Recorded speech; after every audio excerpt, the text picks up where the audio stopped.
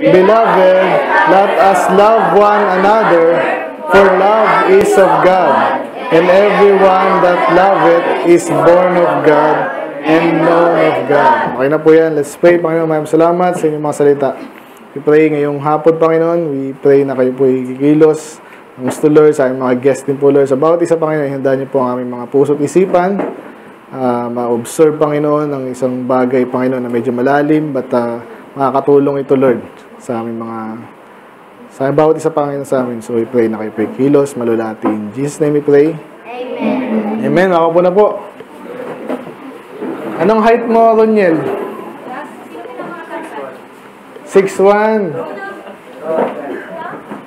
Angkad eh. Okay. Lumala lumalaro ba kayo sa mga liga-liga? Ha? Yes. Ikaw din? Okay na yan eh. Okay.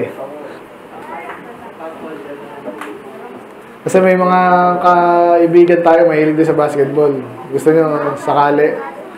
Dadayo tayo, ha? Sige.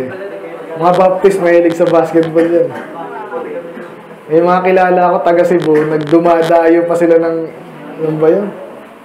Ng negros, parang basketball. O, Pero importante, ano ha? Mas importante, ah, active kayo sa Bible, hindi sa basketball, di ba? Kasi, wala. Kaya iba nakakalaro din na namin, madadaya eh. Kasi hindi naman mga Krisyano. So, kailangan uh, maayos tayo. Okay, so continue ko po yung message kaninang umaga. Ang title ulit nito is In Terms of Right and Wrong. So, okay, maingay lang. Subukan nyo lang intindihin.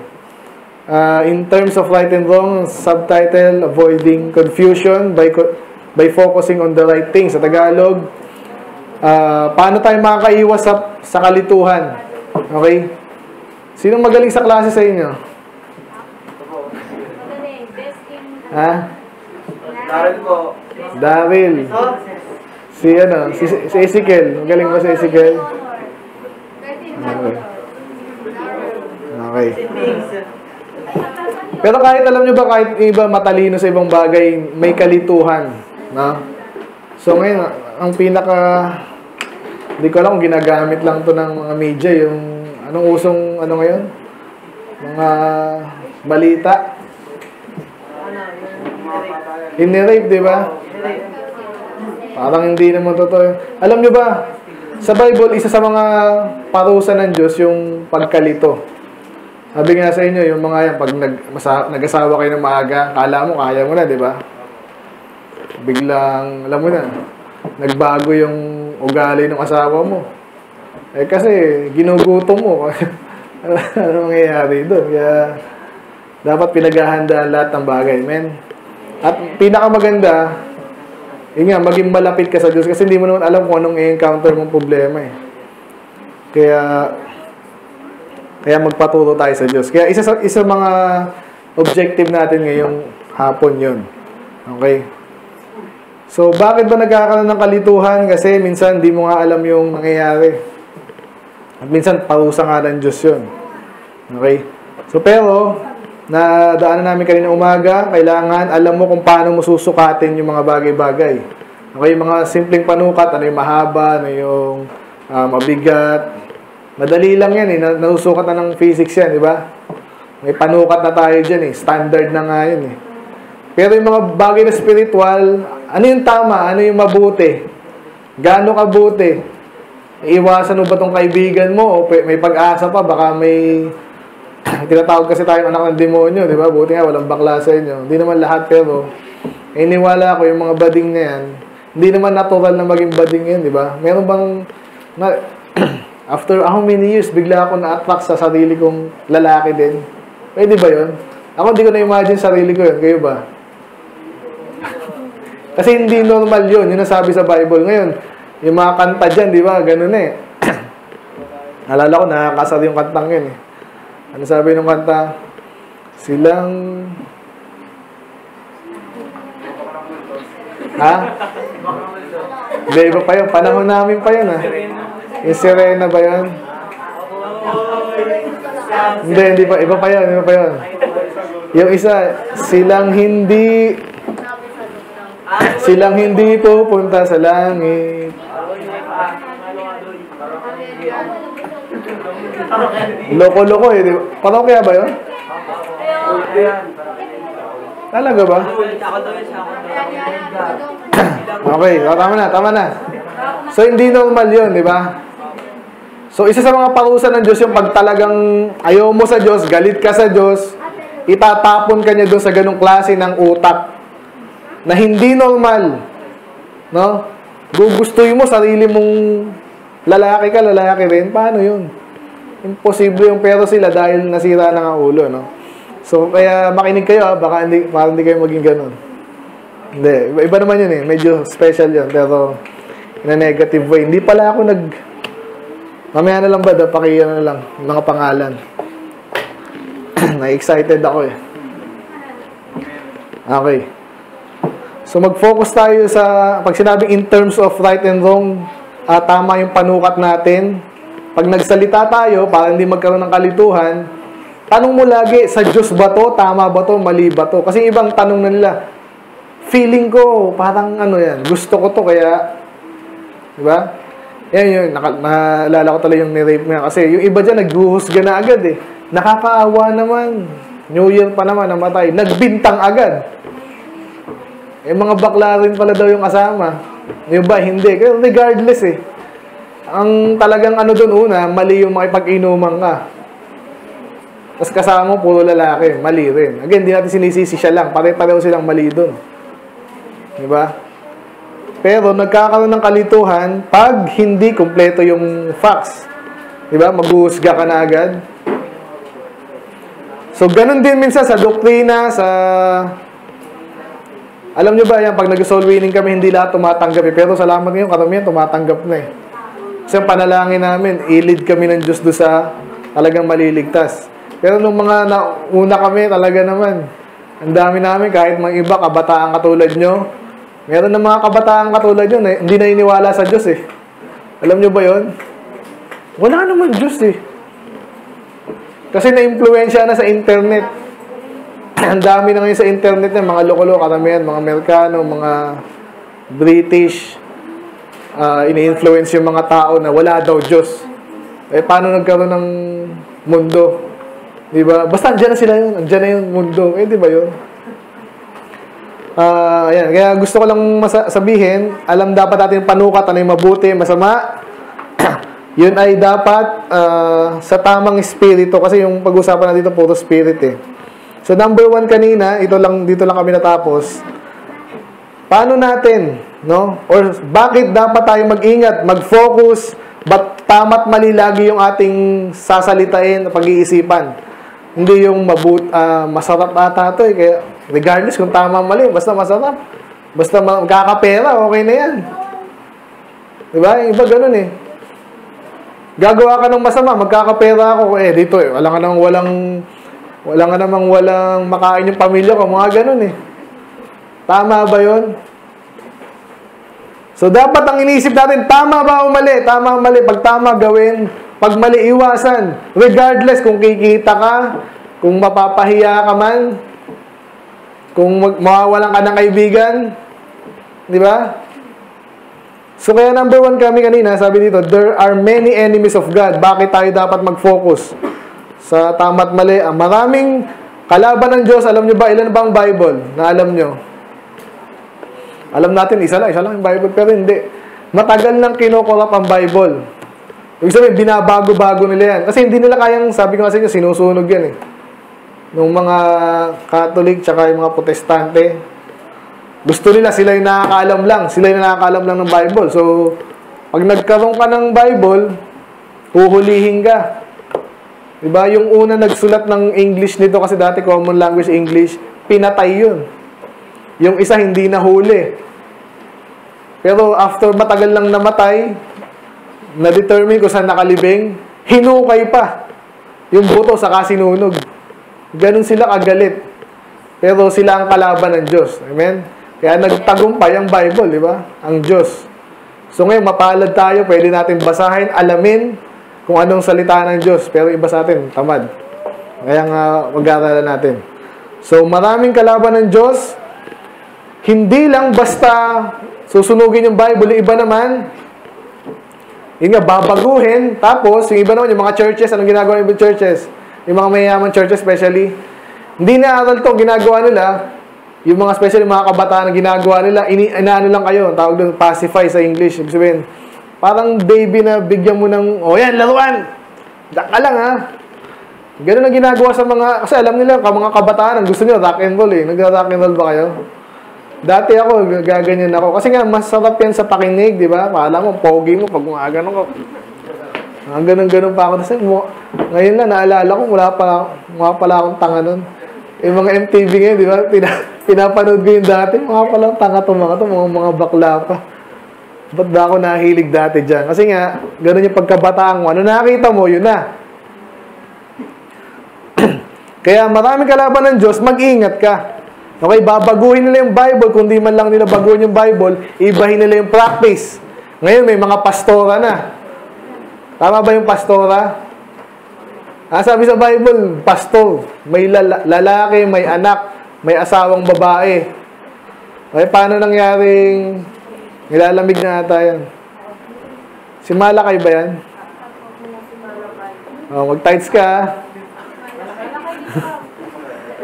okay. Joke lang. Ayan. so, ulitin ko, maraming kalaban ng Diyos, salita ng Diyos. Kaya ibang churches, binababo yung salita ng Diyos. Sinabi sa Bible, walang babaeng magtuturo sa mga lalaki ng Bible, ha? Sila mismo, nagkaroon ng pastora. Okay? So, dati, kahit sa Catholic, bawal yan. Sa Methodist, bawal yan. Ngayon, meron na sa Methodist na pastora. So, binababoy nila yan. Pinaglalaban pa nila. So, ano pa yung mga kalaban ng Diyos? Nabanggit kanina, di ba? Yung mga iglesia ni Manalo. Si Kristo sa kanila, tao lang. Sabi sa Bible, napakalinaw, si Kristo ay Diyos. Sa kanila, actually sila lang yun, tsaka yung iba pang kulto. Bihira yung nagsasabing si Kristo ay tao lang. Pero ganun ang iglesia ni Manalo. Ano pa? Ang karamihan niya, siyempre, nagtuturo ng kaligtasan, mali. Ano sabi nila, paano ka maliligtas? Ligtas na ba si Denver? Nasyara na ba to? Okay, siya tinatanong ko ba? Okay lang yun.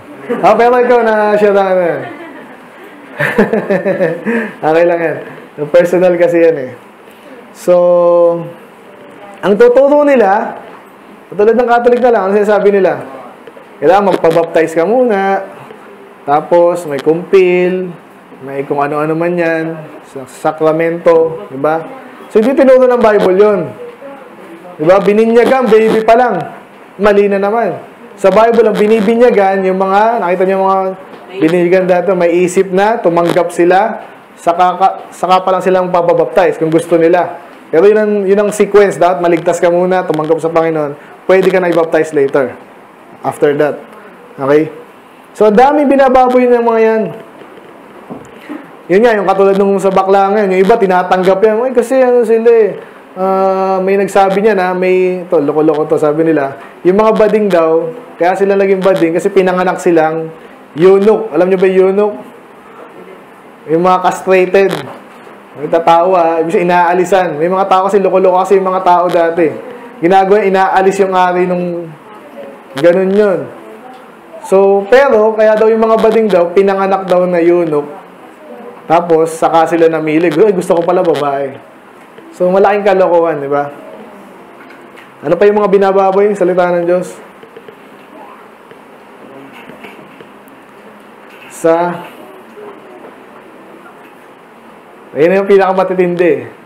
Yung isa ba na, wala daw ano, isa lang ang ah, sabi nila, si ang ama at ang anak ay isa lang. Wala silang pinagkaiba. Ang tawag daw, oneness. Okay, ang Diyos talaga isa lang, pero may pagkakaiba yung ama sa anak, di ba? Si Jesus, nagpa-pray siya sa Diyos eh, sa Ama. Pero iba tinuturo, wala wala silang pagkakaiba. So yung yung am- Diyos Ama daw yung pinako sa ko sa mga ganong kalokohan. So gusto ko lang sabihin, importante na tayo ay mag-focus Kung yung tama at mali, yun ang inisip natin, tama ba to, mali ba to, tama ba to? Kasi, pag hindi ka, pag lumabas ka sa ganyang pag-iisip at pag ah, pangunawa, maloloko ka na. Akala mo tatanggapin mo nila basta masarap, basta marami, marami kami dito. Tama na kami, ganun ba yon? Pinagbobotohan ba yung katotohanan? O, sino naniniwala dito nang galing tayo sa unggoy? Oy, isang daan. Oh, yun ang totoo. Ganun ba yon? Ang katotohanan, di pinagbobotohan. Inaalam. At kahit mag-isa ka na lang dyan sa katotohanan, yan pa rin ang totoo. Kung yan ang totoo. Kaya maraming kalaban ng Diyos, mag, ah, mag, kaila, lagi kayo magtanong, sa Diyos ba to? Sa Diyos ba to? Yung preacher nyo, napakayaman, nagpayaman na. Preacher na salita ng Diyos, tama ba yon? Hindi rin. Okay, okay lang yung konting ano, alam mo na, isang kotse, isang bahay. Simple lang. Hindi yung nagpayaman-yaman ka lang, may sarili kang jet. Di ba? Ah, si Kibuloy, di ba? Sa mga loko-loko din yan. But anyway, so number two, bakit tayo, ngayon pupunta tayo sa how. Paano ngayon tayo mag-focus? Nakafocus tayo para hindi tayo malito sa salita ng Diyos. So may sinabi po dito. Sabi sa ating, ah, sa verse 2, sabi dito, Hereby know we the Spirit of God, every spirit that confesses that Jesus Christ is come in the flesh is of God. Sa Tagalog, sa ganitong paraan natin malalaman ang Spirito ng Diyos, maintindihan. Every spirit that confesses that Jesus Christ is come in the flesh of God. So, number two, focus on the Lord Jesus Christ. So, nabanggit ko na kanina yung iglesia ni Manalo, di ba? Malalaman mo agad mali eh. Kasi tuturo nila, si Kristo ay tao lang. Ang sinasabi sa verse na to, si Kristo ay parang pumunta, naging laman. Okay? Come in the flesh. So, ang tanong kung tao ka na talaga, ako na, si Kristo daw, tao lang. Ba? Pinanganak siya, nagkaroon ng Jesus, nung pinanganak lang si Maria. Yun na yun. Hindi pa siya dati ng kasama ng Diyos. Samantalang sabi sa Bible, kasama siya ng Diyos. So, hindi saktong maling-mali sila, di ba? Alam mo agad, yun ay mali. Kasi sabi dito, ang, ang spirito ng Diyos, ang sinasabi niyan, si Kristo, ay pumunta sa laman. Paano ka pupunta sa laman? Eh, kung talagang laman ka na. Ba? Kung talagang tao ka lang. So, mali na agad, ba? Kaya ang tamang katuruan is, si Kristo Jesus ay Diyos nagkatawang tao. Okay?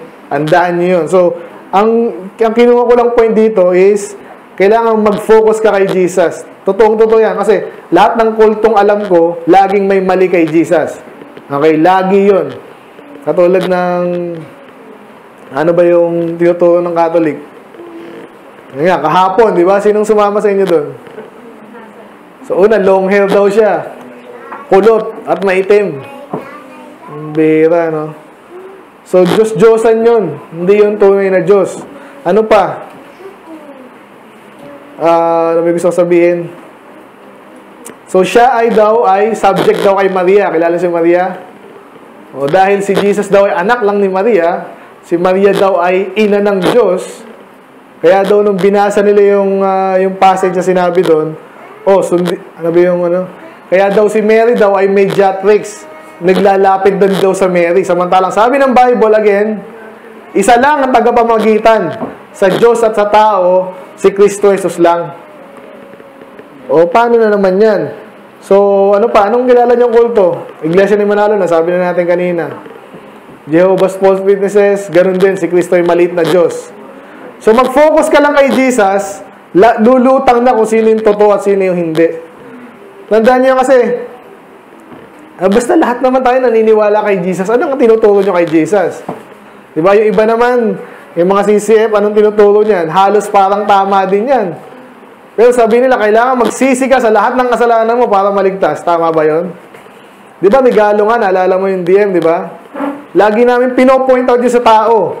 Maliligtas ka, hindi sa pamagitan ng sarili mong gawa. Hindi ka magpapakabait, maganda yung magpakabait, pero hindi yun ang magiging daan. Hindi yun ang paraan, hindi yun ang kailangan mong gawin para maligtas. Hindi ni-require ng Diyos sa yun. Ang kabutihan mo, lahi kang bagsak. So, anong kailangan, ano, yung finished work of Jesus Christ. Siya ay ah, namatay nga, siya yung pumunta sa impyerno, yan pala, hindi rin tinuturo ng iba yan.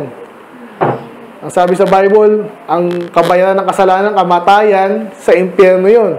Eh bakit si Jesus pinakakulang sa krus, hindi naman siya pumunta sa impyerno? Hindi pwede yun, dapat siya yung nag-suffer doon. Amen? So ano pa ba? Actually, ganun lang gusto ko dito eh. Na sabi dito sa Philippians 2.7. Punta na lang natin. Philippians 2.7, ito yung sabi. Si Jesus to. sabi, But He made Himself, but made Himself of no reputation. So, Diyos siya. Bakit siya nagkatawang tao? Kasi bali wala sa kanya, Diyos ako eh. Hindi hindi siya mayabang ba, 'di ba? O sino di, sino dito yung ano? Yung nagkaroon ka lang ng sariling bike, hindi mo nakilala yung ano. Meron ba? Isa may ganun tayo, di ba? O, pwede naman baguhin niya, pwede naman baguhin, di ba? Pag natuto ka. Pero ang, ang Panginoon niya, hindi nga niya, hindi niya nga inal- inalintana, Diyos siya. Ba't siya magkakatawan tao? Ibig sabihin, masasaktan siya, magugutom siya, mauuhaw siya. Pero okay lang sa kanya yun. You know, and took a form of a servant and was made in the likeness of men. So again, paano sasabihin ng mga iglesia ni Manalo na hindi siya Diyos? Kung sabi dito, ah, nag-take siya ng form of a servant at naging kagaya siya, kawangi siya ng mga tao. Eh kung talagang tao lang siya, di, ba't di mo kailangan magkaroon ng kawangi siyang tao? Eh tao nga siya, di ba? So hindi. So siya ay Diyos, nagkatawang tao lang siya. Yun lang ang point ko doon po. Kailangan mag-focus tayo kay Jesus kasi sabi ni Jesus, I am the way, the truth, and the life. Babasahin na natin. Ganun tama to sa mga bago nating ano, guess, no? Pag sinabing 14 s- sa dito, Jesus said unto him, I am the way, the truth, and the life. No man cometh to the Father but by me. So, sa soul winning, ang pinofocus namin yung life. Kasi kailangan mong tanggapin si Jesus. Pero sinabi din dyan, siya ang katotohanan. Paano naging katotohanan ang isang tao? Ibig sabihin, kasi nga, ibig sabihin ito, ang pag merong nagsisinungaling, kahit konting kasinungalingan, magkakamali at magkakamali siya about Jesus. Ganun po yun. Kasi siya ang katotohanan eh. So, may mga bagay silang hindi matanggap sa katotohanan. Si Jesus, may mga bagay rin silang hindi matatanggap about Jesus. Kaya number two natin, paano ka hindi maliligaw? Okay? At laging ang terms mo ay tama at mali. Gusto mo ilumutang yung tama, malumutang din yung mali para hindi mo sundin, iwasan. Mag-focus ka kay Jesus. It never fails. Ganun po yan. Okay? So anyway, number three, sabi sa verse 4, eh, by the way, ito pa yung sinabi pala sa, sa verse 2, no? Ah, sorry, sorry. Kaya pala mali eh. May sinabi pa pala dito eh. Yung pinaka-main na pinagkuhaan ko. Sabi dyan, no? Ayun pala yun. Every spirit that confesses that Jesus Christ is coming to the flesh is of God. So, mag-focus ka kay Jesus. Kung yung pagkatao niya, pagka-Diyos niya. Amen? Number 3, verse 4. Sabi dito, Ye are of God, little children, and have overcome them. Because greater is He that is in you than He that is in the world. Sa Tagalog, kayo ay sa Diyos. Kanina, yung pinag-usapan natin kanina umaga, di ba, yung Spirito ba yan? Sa Diyos ba yan? Yung naririnig ko ba ngayon, sa Diyos ba yan? Ngayon, sinasabi dito, ang sa Diyos dito, sila na. Kausap ni John, yung mga Kristiyano, mga ligtas. Sinasabi niya, kayo ay sa Diyos, ang tawag niya sa kanila, mga little children. Kahit siya ba dyan, matanda na. And have overcame, overcome them because greater is He that is in you than He that is in the world. Sa Tagalog, napagtagumpayan nyo yung kalaban kasi mas, mas, mas ano ba yung greater, mas, ba pwedeng mas malaki, mas higit. Okay? Ang nasa inyo, sino bang nasa inyo? Sino ba yung nasa libutan? Si Satanas. Ang nasa inyo, si Kristo. Okay? So, ang gusto kong i-focus dito, number three, paano kayo hindi malilito? Paano kayo makapag-focus sa tama't mali? Pansinin nyo, sino yung medyo matagal na dito? Sina Pamela, kailan mo kayo dito? Around June. Ganyan, di ba? June last year. Ito na yung pinakamatagal eh. Yung mga dating active, wala na. Wala na, yan na. No? So, ilang beses mo narinig, Pamela? Sino na una sa inyong dalawa? Ayan, si Chelsea na lang. Sino na una sa inyong Chelsea? ma- ilang beses mo ako narinig na tatanungin ko yung, di ba, tinatanong ko, ligtas ka na ba? Di ba?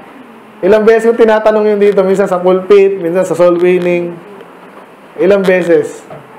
Marami, di ba? Napansin ko rin sa baptist ganun. Bakit? Kasi, pag hindi ka ligtas, maintindihan mo ba yung salita ng Diyos? Hindi. May mga maintindihan ka konti, ay, may soul doon, may, may hari doon, meron ganyan. Pero yung implication yan, yung spirito yan, hindi mo maintindihan. Kaya ngayon, pag meron nagpapanggap dito, ano dapat mangyari muna? Maligtas ka muna. Kasi kung hindi ka ligtas, hindi mo maintindihan yan. Ang tawag dito parang goalpost natin yan. Ibig sabihin, reference. Kaya sinasabi dito sa verse na to, kayo ay sa Diyos, kayo ay mga malilit na anak. Di ba? So, paano mo maintindihan na mag-focus ka sa tama't mali at lagi kang, hindi ka ihiwalay doon, hindi ka doon lalayo. Lagi mong intindihin na pag ikaw ay ligtas, doon ka, doon ka mag-focus. Hindi ka aalis doon. Diba? Kung niligtas ka ng Diyos, saan ka malilito? Kung ano, ano mo mas mahirap na doktrina ngayon? Yung Calvinist. Iba dyan, nalilito. Sabi nila, ang Diyos daw, pinili ang mga tao sa panimula pa lang, namili siya. Kunwari, may mga baby dito. Ito, gusto ko sa langit, ito sa impyerno, ito sa langit, ito sa impyerno. Parang nag-ano siya, nagkakakrus. Tama ba yun? Mali yun. Pinili niya tayo kasi alam niya na yung mangyayari, tatanggap ka sa Panginoon, pinili ka maligtas. Ganun na sinasabi sa Bible. Ngayon, pag nagtuturo na ng ganun, medyo komplikado na, hindi ko na maintindihan. Kasi nangyayari sa akin yan eh. Nag, nagtatalo-talo, mga baptist na rin. Kasi anong paniniwalaan ko? Dito ako babalik. Ligtas ba ako? Paano ako naligtas? Pinili ba ako ng Diyos? Tapos, sinabi niya, oh, pinili na kita, ligtas. Ganun ba yun? Oh, tumanggap ako. Pinili sa akin yung gospel, inisip ko, tatanggapin ko ba to o hindi? So, kanina ako naligtas. Nung time na yon. Though ang Diyos, alam na niya maliligtas ako, pero naligtas lang ako yung time na yon. Amen? Naintindihan niyo ba yun? Hindi mahirap intindihin yun. Ang isang tao, isang beses lang pinanganak, ganun din ngayon ang mababorn again, Isang beses ka lang maborn again, hindi born again, again, again, again. Nagkasala ka, hindi ka naligtas. Tapos, ay, kailangan tanggapin ko ulit ang Panginoon. O, sige, tatanggapin ko ulit, ay nagkasala. Hindi ganun. Ang tamang kaligtasan, isang beses lang. Amen? Naligtas isang beses. Ngayon, maaaring nakalimutan mo, pinaalala sa'yo. Iba yun. Okay? Pwede rin yun. Pero isang beses ka lang maligtas, ilang beses ka lang pinanganak. So, yun ang gusto kong i-focus dito. Hindi ka malilito. Kung uh, lagi mong aalalahanin, paano nga ba ako naligtas? Eh, isa sa mga talagang pinagtatalo ng doktrina, yung kaligtasan. Amen? Mabilisan ko na lang. So, yun lang ha. At sabi pa dito, ngayon, pag ikaw ay ligtas na, sabi dito, they are of the world, therefore speak they of the world, and the world heareth them. Sa Tagalog, sila, sino tinutukoy niya sila? Hindi yung mga Kristiyano ang tinatawag. oh. Kasi kausap niya sila, di ba? So, may, pag may tinawag silang sila, hindi yung mga Kristiyano yun. Intindihan nyo? They are of the world. Sila ay sa sanlibutan. Kaya naman, pansinin nyo ha, speak they of the world. Sa Tagalog, kaya kung magsalita sila, yung mga terminology nila, kagaya ng sa sanlibutan. Hindi kagaya natin. Okay? So kaya mapapansin mo, yung mga ligtas talaga, kahit sa mga public forum, sa internet forum, makikita mo doon kung sino yung ligtas eh. Kung paano magpaliwanag, ano yung mga bagay na tinatanggap niya, ano yung mga bagay na reject niya, makikita mo eh. Kaya si Brother James, dati hindi King James yan eh. Kahit James siya.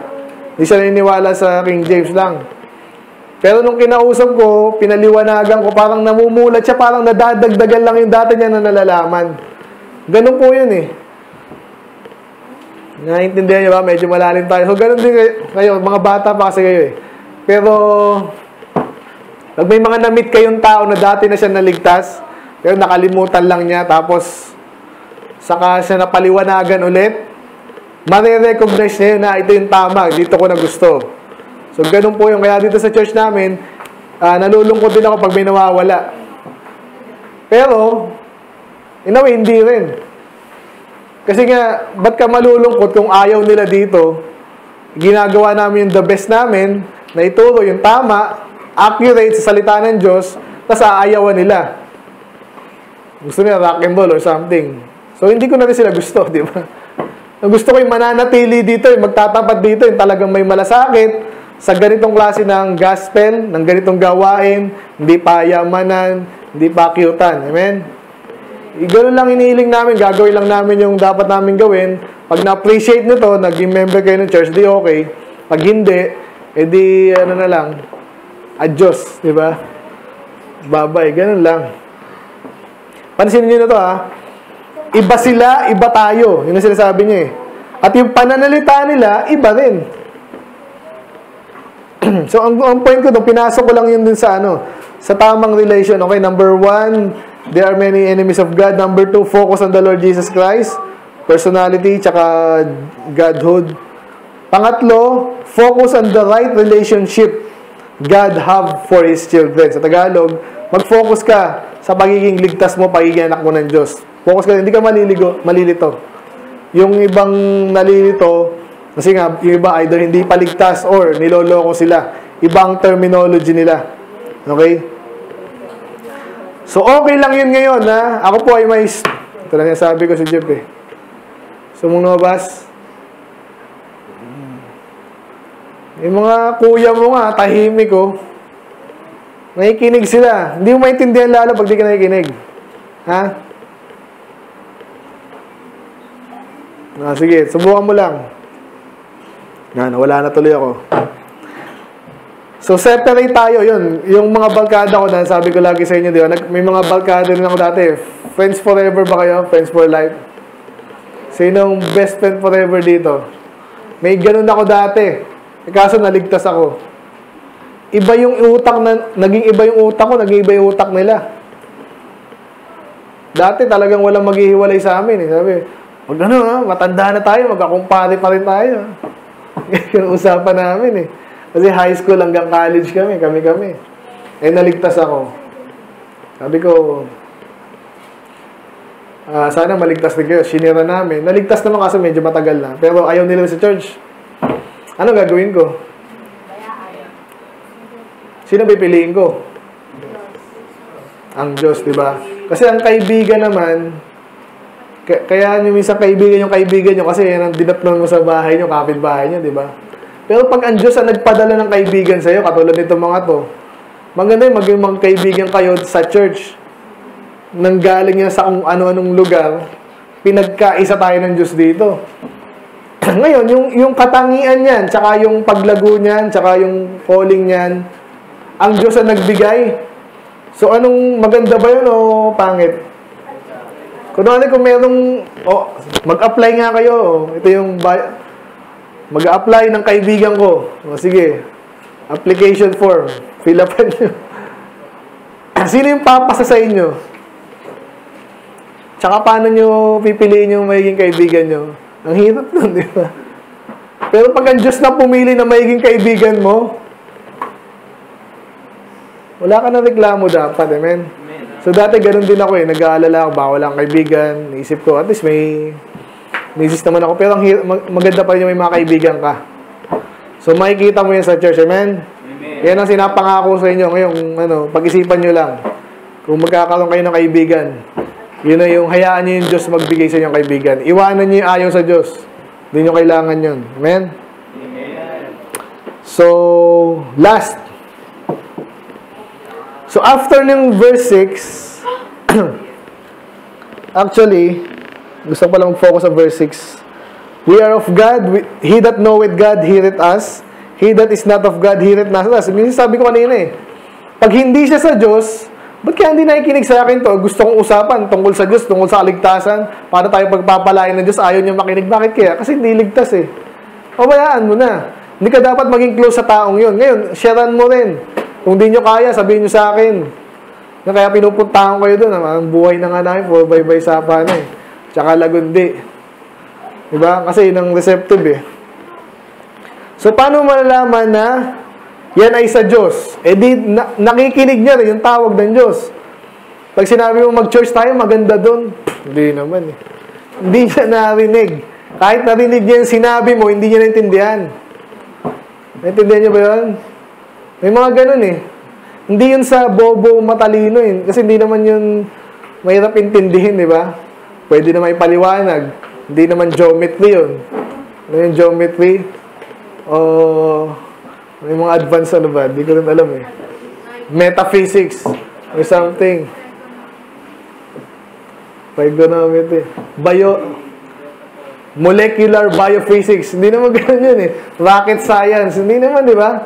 Kasalanan, ganun lang yun eh. Katotohanan, kaya mong intindihan. Pero pag hindi niya naintindihan, baka hindi ligtas.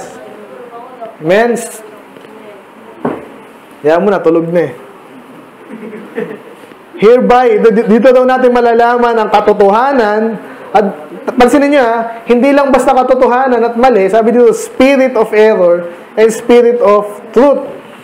So, pag sinabi ng spirit, parang ano yun eh, parang sabi nga kaninang umaga, parang tao na either maniniwala ka o hindi. So, parang body of ano siya eh. Hindi pwedeng i-ano lang na ito totoo eh, may katotohanan din tong mali eh. Parang yun nga, Iglesia ni Manalo, ang daming totoo nilang tinuturo. Maniwala Catholic, marami silang totohanan. Pero may, yung, yung, kung saan yung importante, doon pa nagkamali. So, dapat ma-detect mo yun. Kaya nga ngayon, kung sa Diyos yan, makikinig sa atin yan. Pag ayaw nila, baka hindi sa Diyos. Again, hindi na sigurado. Pero, pag ilang beses mo napatunayan, talagang inaayawan niya, tinuturuan mo ng tama. Ito yung sinabi sa, pinapakita mo yung sinabi ng Diyos. Tapos, eh, hindi totoo yan. Patay. Huwag mo yung kaibiganin yun. Amen? Uh, ito na, last na. So, paano ngayon? Last thing. Paano ka mag-focus sa tama at mali? Ang sabi dito sa verse 7, actually, verse 7 hanggang 21, puro na yung pag-ibig ng Diyos. Ang sabi diyan, Beloved, let us love one another, for love is of God, and everyone that loveth is born of God, and knoweth God. Sa Tagalog, mahalin natin ang bawat isa. Bakit? Kasi ang pag-ibig ay sa Diyos. Alam mo ba kung mahal ka ng isang tao hindi? Alam mo? Paano mo nalaman? Una, sinasabi. Pangalawa, pero pwedeng pikiin yun eh. Ano yung hindi mo pwedeng pikiin? Kunwari ito, may, may iba sa amin nagsasabi, kasi nakita niyo kung paano mag-preach, di ba? Sabi si Pastor, hindi mapagmahal yan. Kasi ayaw niya sa bakla eh. Talagang ayoko. Ayoko rin sa kasalanan. Pero may pagtanggap ako sa taong makasalanan. Pero sasabihan ko siya, mali yun. Nakita niyo pagkakaiba? So kahit matapang ako mag-preach dito, walang pwede magsabi sa akin na, oh, hindi ka mapagmahal. Pwede na sabihin niyo, pero hindi totoo yun. Bakit? Pag tiningnan mo ano yung ginagawa namin, di ba? Minsan, uh, naiisip ko rin, alam niyo, pag itong church, bahay na namin to eh. Naging church. Eh, minsan nagkakagulo yung mga bata. Ay ko, pambira yung bahay natin, para nang di na bahay ah. Pero iniisip ko rin, dati si Miss actually nagreklamo yan. Naiintindihan ko siya kasi nga bahay eh. eh bawat ano, eh pag umulan pa. Pero bandang huli, naiintindihan niya rin, nagre-reach out tayo sa mga taong to eh. Hindi natin pwede silang sungitan. Di ba? Oy, naligo ka ba? Oh, hindi ka pwede dito. Again, yung mga bakla, hindi welcome dito. Pero yung mga normal na tao, di ba? Tanggap natin, amen. Kailangan natin silang mahalin. Kasi sabi dito, yung mga taong nagmamahal, sa Diyos yan. At paano masabing mahal ka? Katulad ng Panginoon, kanina soul winning, inaano natin, di ba? Si Kristo mismo nagsakripisyo, namatay siya para sa'yo, wala siyang kasalanan. Siya yung walang kasalanan, siya yung pinahirapan, siya yung nilait, bakit? Kasi mahal niya tayo. Amen? Para maligtas tayo. So, ganun din tayo. Pag natututo ka na, especially mga bata kasi, bata pa naman kayo, inaaral nyo pa rin kung paano kayo magmamahal. Kasi minsan, hirap eh. Lalo pag magulang ka, lalo nanay ka. Nung bagong magulang kami, especially sa nanay, yung Stephen, minsan, ang kulit eh. Ang liit pa niya, ang kulit. Gigising niya, madaling araw. Alam niyo, mga kapatid kayo, ang hirap nun. Pag may sakit pa, magpapakarga pa. Ang arte niyan, eh, ingay na naman yun. Di paano kayo niyan? Kaya si Mrs. pinatigil ko na magtrabaho. Kung biya, sino mag-aalaga yan? Ako, di ko, ano man ako. Mapasok ba ako sa trabaho, di ba? So, gusto ko na sabihin, ah, ngayon, sa palagay niyo, mahal ba namin kayo? Jeff, mahal ba kita, Jeff? Kahit lagi ang pinapagalitan. Hindi mo pwedeng sabihin na hindi ako mahal dahil pinagalitan ako. Mali yun. Ang tamang, kahit ang matinong tatay, sabi sa Bible, ah, kanyang for whom the ah, for whom God loveth, He chasteneth. Ah, sa- parang kagaya daw ng isang tatay na nagmamahal. Totoo yun. Pag wala kang pakialam na sa anak mo, hindi mo na mahal yan. Pag pinapalo mo pa, minsan nahabol mo pa, sisigawan mo pa, kasi gusto mo siyang matuto, gusto mo siyang maging maayos na bata. At pag maging maayos na bata, lalaki yan, magiging maayos na mamamayan. Hindi siya yung iiwanan siya ng asawa niya kasi loko-loko. Gusto niyo ba yung nakakita na kayo ng ganun? Ang sakit nun. Ako, may kilala akong ganun. Ang hirap niya ng i-repair. Hindi ko naman paliwanagan, mahal ka ng Diyos, alam mo ba yon? Iniwanan ka ng asawa mo, ikaw lalaki, iniwanan ka. Ang sakit nun. Ayoko mangyari sa inyo yun. Amen? Para maintindihan nyo sana yung design ng Diyos. Para sa pamilya, tsaka para sa maayos na buhay. At ah, hindi nga yung lagpas pa doon pag tayo nasa langit na. Kaya ito mga nakikita ko naglilingkod sa Diyos, masipag yan, masaya pa. Naglilingkod sa Diyos. Bakit? Kahit may paghihirap dito, nakikita nila yung future. May reward ang Diyos. At magaling ang reward niya, maganda ang reward niya. Patas ang reward niya, hindi mo pwede sabihin, ako nagtapat ako yung isa. Banjing-banjing lang, pareho lang kami ng reward. Hindi ganun sa langit, hindi ganun ng Diyos. Kaya napakaganda na mag, matuto kayo, amen? So gusto ko lang malaman, pag-ibig, sino nagmamahal? Ang Diyos, saka yung mga lingkod ng Diyos. Kaya yun, mis- misa masakit sa akin pag ganun, pag nagtatampo sa akin, eh ako mag-church, tinatamad ako. Eh palibasa nga, lumaki na rin ako sa church, naintindihan ko, naaalala ko, sarili ko, ganun din ako dati. Ang sakit pala nun sa pastor, tsaka kung sino nag invite sa'yo. Invite, kinukulit ka, kinukulit, punta tayo sa church, punta tayo sa. Eh, ako, ano ako eh, maglalaba ako eh. Mag-module ako eh. Monday to Friday, pwede ka mag-module. Amen? So sana ganun, mahalin natin ng Diyos, malaman natin na siya ay pag-ibig, mag-focus ka sa pag-ibig ng Diyos, hindi pag-ibig ng ibang plastic. Kaya nabanggit ko lagi yung bading na yan kasi yung mga plastic dyan sa ABS-CBN, GMA, kasi mga bading din yan eh. Ano yung madalas sasabihin siya? Magmahalan tayo lahat. Mahal tayo lahat ng Diyos. Eh, nag-preach si Pastor Ace, may impyerno. Ay, sandali, ano ba totoo? Mahal ba lahat ng Diyos o ba't may impyerno? Ba? Conflict. Sino-sino tama? Ang Bible, di ba? Pinipreach si Pastor Ace. Ngayon, pag may mali ako, sabihin nyo. Dahil di ako perfecto. Pero pinipreach ko, sabi dito, galit ang Diyos sa kasalanan, di lahat sa langit. Eh, sabi ng ABS-CBN, magmahalan eh. Pati mga bading mahalin natin. Yak, di ba? Sila na lang. Magkakaroon ka ng AIDS dyan. Amen. Hindi mga tomboy, pareho lang yan. So, yun na yun. Tapos na tayo. May question ba?